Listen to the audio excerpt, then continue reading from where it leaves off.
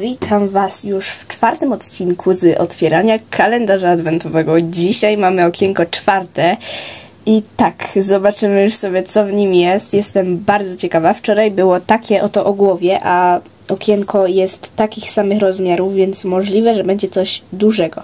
Dobrze, otwórzmy je. Okej, dobra. Y, okienko numer 4 znajduje się tutaj. Otwórzmy je sobie.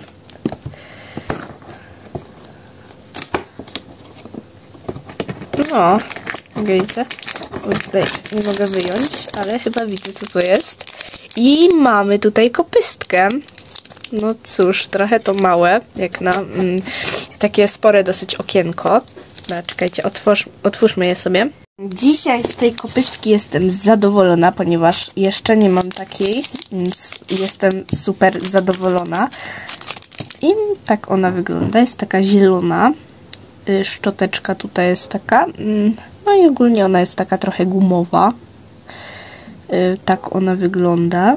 Właśnie tutaj na przykład, y, tutaj sobie można tak, widzę, ale ja nie chcę, bo tutaj mi się trochę może ostrość kurde nie łapie. O, tutaj sobie tak można, jak się nagrywa, ale ja po prostu nie chcę, bo mi się może zedrzeć farba z konia. No ale fajna jest tak, wiecie, do jakiegoś tła czy coś i tak właśnie ona wygląda.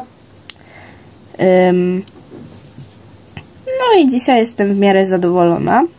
No gdyby to była znów jakaś taka na przykład ta szczotka, co tutaj jest, bo tą szczotkę też mam, no to bym była trochę zawiedziona, no bo e, w ogóle zdałam sobie sprawę, że tylko jeszcze dwa dni do Mikołajek. Jutro mamy piątkę i piątka jest już większa, taka.